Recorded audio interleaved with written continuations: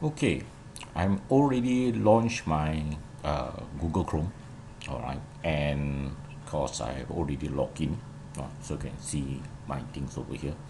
So of course, make sure that your uh, browser is of the latest version, and a quick way to do that is to just go to the help, then run the about Google Chrome. Uh, you will check for any latest version and if it's not the latest you will actually download and install the latest.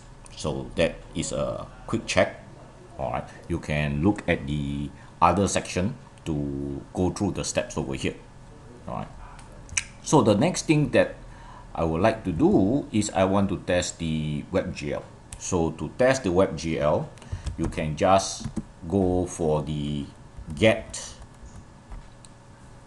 dot webgl dot org